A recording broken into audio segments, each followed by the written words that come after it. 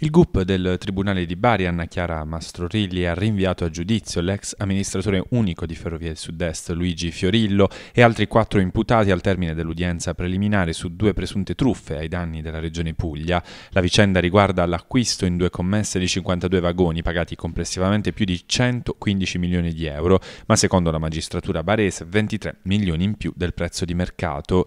Il giudice ha disposto quindi il rinvio a giudizio per le truffe, escludendo però l'aggravante della transnazionalità nazionalità, dichiarando invece il non luogo a procedere perché il fatto non sussiste per i reati fiscali contestati a Fiorillo e la prescrizione di un episodio di corruzione. Nel frattempo per l'azienda e per servizi automobilistici SRL c'è il via libera al trasferimento da parte del Ministero delle Infrastrutture e dei Trasporti al gruppo Ferrovie dello Stato. L'operazione è stata perfezionata nei giorni scorsi nella sede del Ministero delle Infrastrutture. Amministratore delegato è stato nominato Andrea Mentasti, direttore generale dell'Agenzia regionale di controllo della sanità della Lombardia. FSE è dunque da oggi una società del gruppo FS in attesa della presentazione della domanda di concordato preventivo.